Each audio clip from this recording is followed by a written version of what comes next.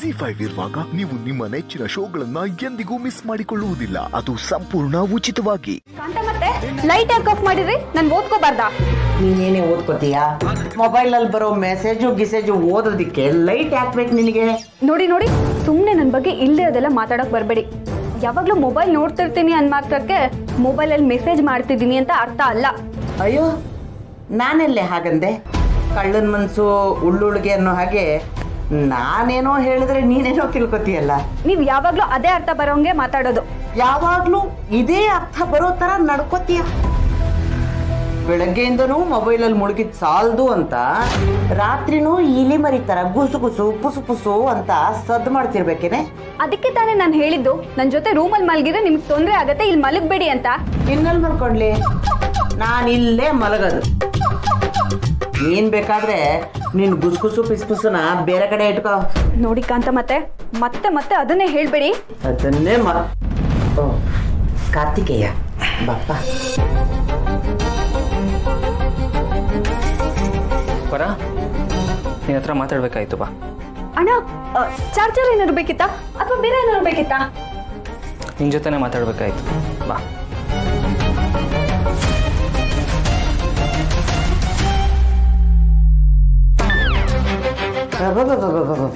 ಈಗಿನ ಕಾಲದ ಹುಡುಗಿಯರು ಅದೇನು ಅಂತ ಮಾತಾಡ್ತಾರೆ ಅದೆಷ್ಟು ಮಾತಾಡ್ತಾರೆ ಏನು ಜಗಳ ಕಾಣ್ತಾರಪ್ಪ ನಾನಾಗಿದ್ದಕ್ಕೆ ಇದನ್ನೆಲ್ಲ ಸಹಿಸ್ಕೊಂಡಿದ್ದೀನಿ ನಾನು ನೋಡಿ ಕಲಿಬೇಕು ಈಗಿನ ಜನ್ರೇಷನ್ನವರು ಒಂದಿದ್ದೆ ಮಾಡಕ್ ಬಿಡಲ್ಲ ಅಮ್ಮ ಸೊಂಟ.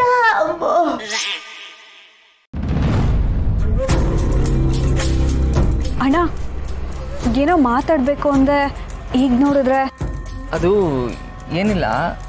ನೀನು ಹೆಂಗೆ ಓದ್ತಿದ್ಯಾವರ ಚೆನ್ನಾಗಿ ಓದ್ತಿದ್ಯಾ? ನಿನ್ಗೇನಾದರೂ ಬೇಕಾಗಿತ್ತಾ? ಏನಾದರೂ ಬೇಕಿದ್ರೆ ನಿನ್ನೆ ಕೇಳ್ತೀನಿ ಅಣ್ಣ. ಸದ್ಯಕ್ಕೇನಿಲ್ಲ. ಚೆನ್ನಾಗೆ ಚೆನ್ನಾಗೇ ಓದ್ತಿದ್ದೀನಿ. ಹೌದಲ್ವಾ?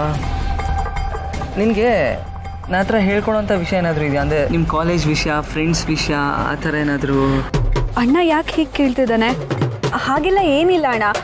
ಕಾಲೇಜ್ ಫೀಸಿಗೆ ಬಟ್ಟೆಗೆ ಬುಕ್ಸಿಗೆ ಅಂತ ದುಡ್ಡು ಕೊಟ್ಟಿದ್ಯಾ? ಇನ್ನಿದು ಹೊಸ ಕಾಲೇಜು. ಇನ್ನು ಮುಂದೆ ಫ್ರೆಂಡ್ಸ್ ಆಗ್ಬೇಕಷ್ಟೆ. ಹಾಗಿದ್ರೆ ಪರ್ಸನಲ್ ಆಗಿ ಹೇಳ್ಕೊಳೋಂಥದ್ದು ಹೇಳ್ಕೊಳ್ದೇ ಇರೋವಂಥ ವಿಷಯ ಆ ಥರ ಏನಾದರೂ ಇದೆಯಾ? ಅಂಥ ವಿಷಯ ಏನಿಲ್ಲ. ಯಾಕೆ ಕೇಳ್ತಿದ್ಯಾ? ಏಯ್ ಸುಬ್ಬು ಏನಾಗಿದ್ಯೋ ನಿನಗೆ? ಮಾತಾಡೋಕ್ ಧೈರ್ಯ ಇಲ್ವಾ? ನನ್ನ ಹತ್ರ ಕೇಳಿದನ್ನ ಇವಳ ಹತ್ರ ನೇರವಾಗಿ ಕೇಳು. ಎದ್ರಕ್ ನಿಂತಿರೋಳು ನಿನ್ ತಂಗಿ ಅಷ್ಟೇ. ಹುಲಿನೋ ಸಿಂಹನೋ ಅಲ್ಲ. ಕೇಳ್ತೀನಿ ಮೇಡಮ್ ಕೇಳ್ತೀನಿ.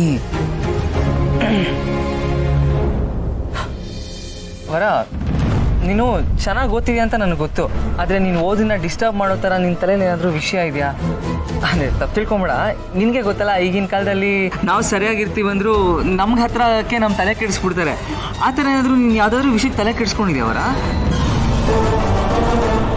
ಅಣ್ಣಂಗೆ ನಿಜವಾಗ್ಲೂ ನನ್ನ ಮೇಲೆ ಅನುಮಾನ ಬಂದಿದೆ ಅನ್ಸುತ್ತೆ.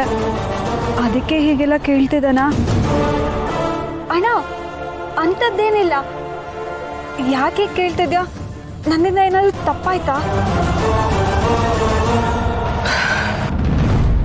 ತಪ್ಪಾಗಬಾರ್ದು ಅನ್ನೋ ಉದ್ದೇಶ ಕೇಳ್ತಾ ಇದ್ದೀನಿ ವರ.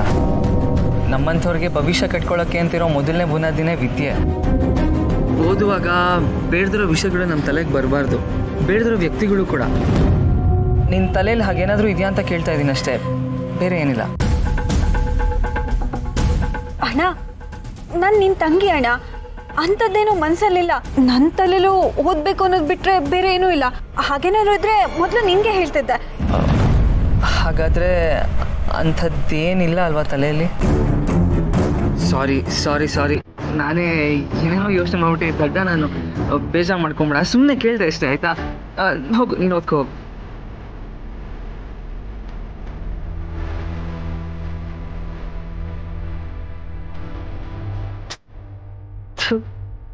ನಾನೇ ಏನೇನು ಯೋಚನೆ ಮಾಡ್ಬಿಟ್ಟಾಗ ದಡ್ಡ ದಡ್ಡ. ಸತ್ಯ ಮೇಡಮ್ ಡೈರೆಕ್ಟಾಗಿ ಅವಳ ಹತ್ರನೇ ಮಾತಾಡೋದು ಇದಕ್ಕೆ ಸರಿ ಹೋಯ್ತು. ಇಲ್ಲ ಅಂದರೆ ಇನ್ನು ಏನೇನು ಯೋಚನೆ ಮಾಡ್ಬಿಡ್ತಾ ಇತ್ತು ಅಬ್ಬಾ, ಈಗ ಸಮಾಧಾನ ಆಯಿತು. ಹಾಂ, ನಾಳೆ ಪ್ರೆಸ್ ಕಾನ್ಫರೆನ್ಸ್ಗೆ ಆರಾಮಾಗಿ ರೆಡಿ ಆಗೋದು ಇವಾಗ.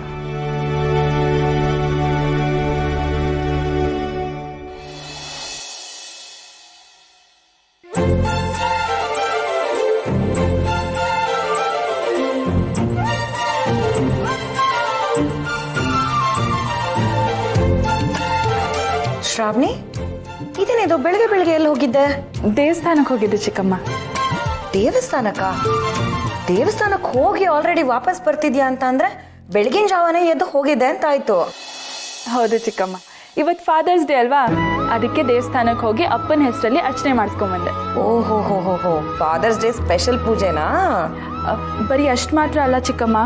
ಇವತ್ತು ಅಪ್ಪಂಗೆ ಯಾವುದೋ ಒಂದು ಇಂಪಾರ್ಟೆಂಟ್ ಪ್ರೆಸ್ ಮೀಟ್ ಇದೆ ಅಂತ ಚಿಕ್ಕಪ್ಪ ಹೇಳಿದ್ರು. ಮತ್ತೆ ಆ ಪ್ರೆಸ್ ಮೀಟಲ್ಲಿ ಯಾರೋ ಅಪ್ಪಂಗೆ ಆಗದೆ ಇರೋರು ಅವ್ರ ಒಪೋಸಿಷನ್ ಅವರು ಅವ್ರಿಗೆ ತೊಂದರೆ ಕೊಡ್ಬೋದು ಅಂತ ಹೇಳಿದ್ರು.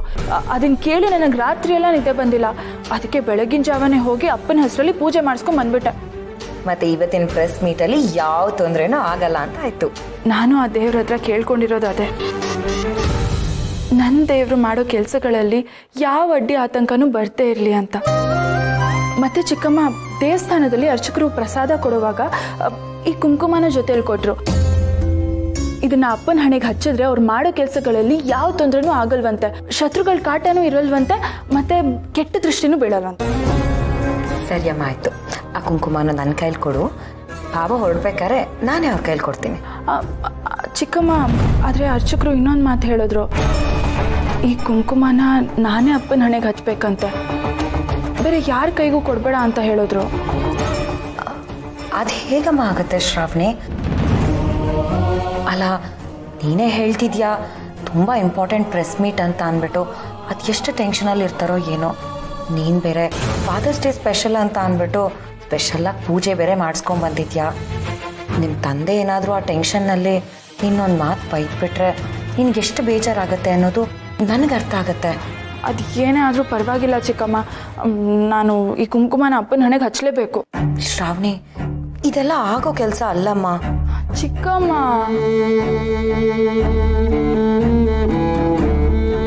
ಏನು ಯೋಚನೆ ಮಾಡ್ಸಿದ್ರ ಚಿಕ್ಕಮ್ಮ? ಅದು ಶ್ರಾವಣಿ ಇಂಥ ಮುಖ್ಯವಾದ ಕೆಲಸಗಳಿಗೆ ಹೊರಡ್ಬೇಕಾದಾಗ ಅದಕ್ಕೇನೆ ಅವ್ರಿಗೆ ಆರತಿ ಕೊಡೋದು. ಅವ್ರ ಆರತಿ ಕೊಡುವಾಗ ನೀನು ಅವ್ರ ಕುಂಕುಮ ಹಚ್ಬಹುದಾ ಅಂತ ಯೋಚನೆ ಮಾಡ್ತಿದ್ದೆ.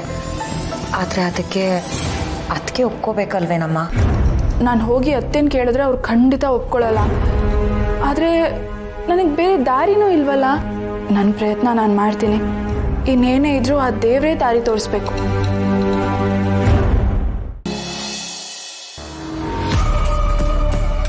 ಅತ್ತೆ. ನಿಮ್ಮ ಹತ್ರ ಸ್ವಲ್ಪ ಮಾತಾಡಬೇಕಿತ್ತು. ನೀನು ನನ್ನ ಜೊತೆ ಮಾತಾಡ್ಬೇಕಾ? ಸರಿ ಅದೇನು ಅಂತ ಹೇಳು. ಅದು ಇವತ್ತು ಬೆಳಗ್ಗೆ ದೇವಸ್ಥಾನಕ್ಕೆ ಹೋಗಿದ್ದೆ.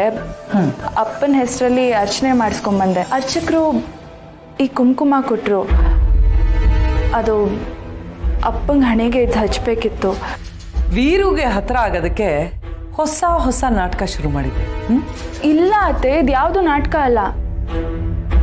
ದೇವ್ರ ಹೆಸರಲ್ಲಿ ಸುಳ್ಳು ಹೇಳಿ ಅಪ್ಪಂಗೆ ಹತ್ರ ಆಗೋ ಕೆಟ್ಟ ಬುದ್ಧಿ ನನಗಿಲ್ಲ.